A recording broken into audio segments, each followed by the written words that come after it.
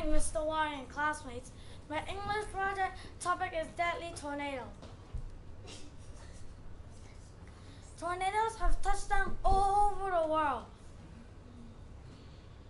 More than 20 tornadoes touch down in USA alone each year. A tornado can travel very quickly. At more than 65 kilometers per hour to more than 418 kilometers per hour. It takes only five minutes for a tornado to form. There is an existing scale to rate tornadoes. Lowest rating is EF0, highest rating EF5.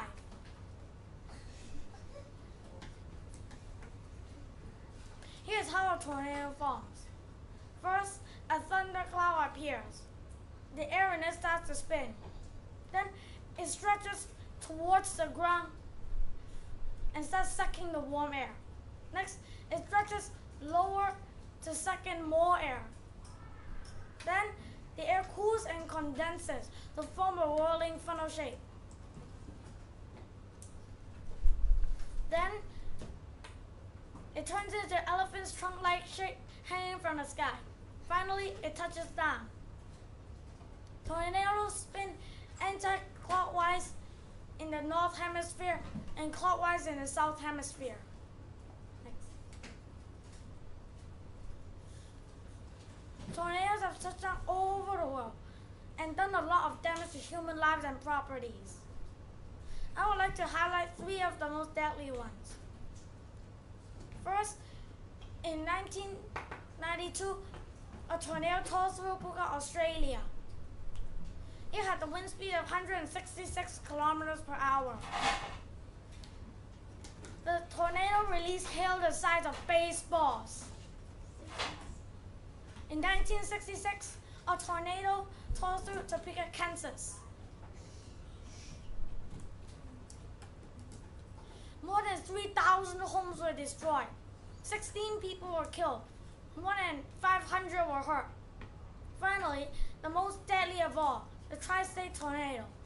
In 1925, it tore through Missouri, Illinois, and Indiana. It stayed on the ground for 219 miles. 695 people were killed, making it the most deadly tornado in history. There is an existing scale to rate tornadoes. Lowest rating EF0, highest rating EF5. EF0 and EF1 tornadoes do light to moderate damage.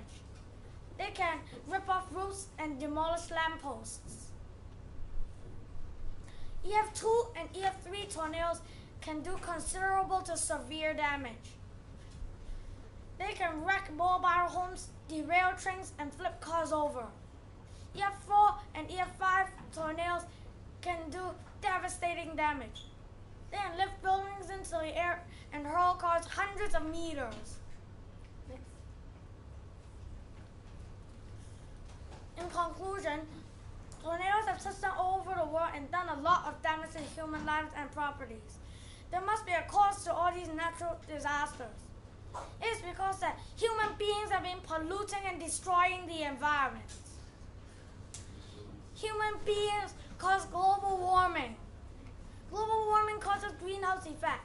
That keeps all the heat within the atmosphere.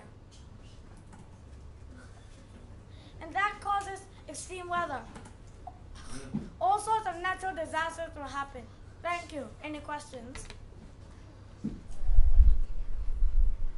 Wait.